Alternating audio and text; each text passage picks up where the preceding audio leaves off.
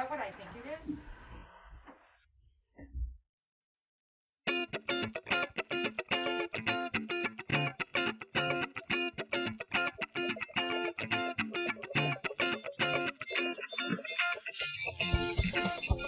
Hey guys, Red Hair, owner of Hotel Red or whatever.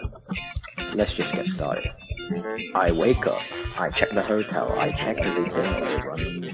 It's not really that hard of a job since hardly anyone's there. It all started way back then when I was chilling and playing on Jackbox.tv since I was incredibly lonely and had nothing to do.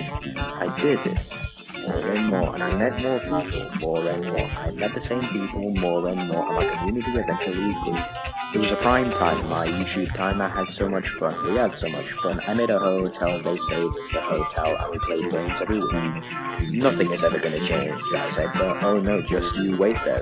You know what they say, you don't know you're in the good old days until they're over forever. Hotel life, that's just a hotel life, that's just a hotel life, that's just a hotel life, hotel life, hotel life, that's just a hotel life, that's just a hotel life, that's just a hotel life, hotel life, hotel life, that's just a hotel life, that's just a hotel life, that's just a hotel life, hotel life, hotel life, that's just a hotel life, that's just a hotel life, that's just a hotel life, hotel life, hotel life, that's just the way that we do it here. Hardly anyone is active, and we all know how that happened. And even though the hotel back then was much better than the hotel is now, let's keep pretending that there's any hope that anyone else is joining.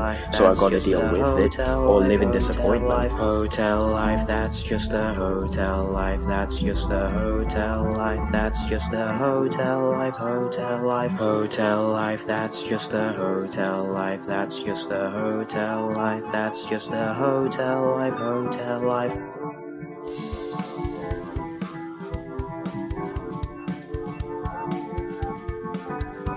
I wake up, I check the hotel, I check everything's running well. It's not really that hard of a job since hardly anyone's there. It was a lot more exciting when people were here. It filled the emptiness I always felt. Shame they had to go when none of them are gonna come back, I know.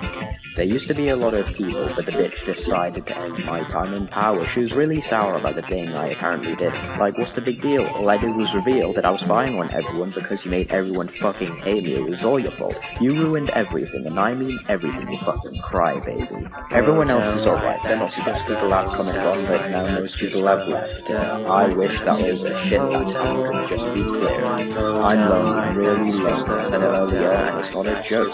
Oops, I misspoke there, but it doesn't matter since nobody's gonna care. Hotel, nobody's gonna care, nobody's gonna care, nobody's gonna care, nobody's gonna care, hotel, nobody's gonna care, nobody's gonna care, nobody's gonna care, nobody's gonna care.